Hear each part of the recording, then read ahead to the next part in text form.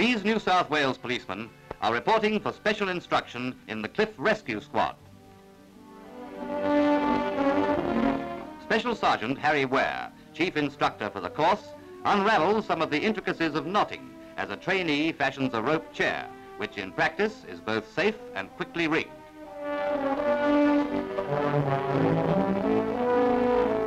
The particular circumstances applying to each rescue job demand the use of various knots and various sizes of rope.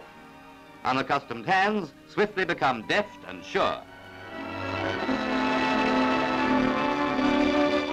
Experience is the best teacher, and the class now prepares to put its knowledge to the test. And there's no half measures to begin.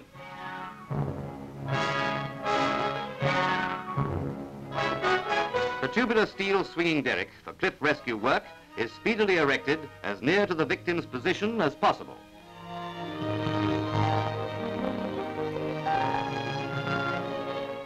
It's a long and dangerous descent, and in cases like this, the threat to life and limb is always present.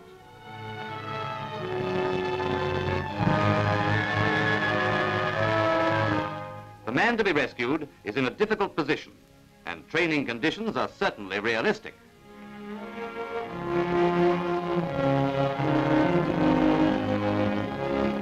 Each man in the class is lowered in the bosun's chair, following rigid instructions on how to leave the chair, how to carry a patient on the ladder stretcher, and the use of a rope line for contact with the crew at the cliff top. Special precautions are taken to keep the stretcher in a horizontal position. The cliff top team bend their backs and slowly rescuer and rescued ascend to safety.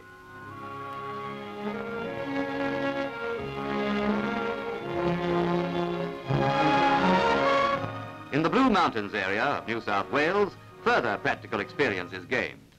Trainees already accustomed to short seaboard descents find themselves going down as much as 1,100 feet.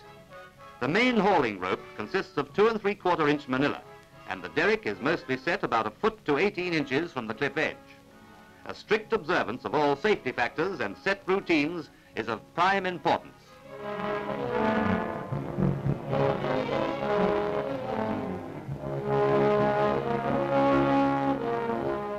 Since its inception in 1942, members of the Police Rescue Squad have earned many awards for gallantry in yet another police field of service to the community.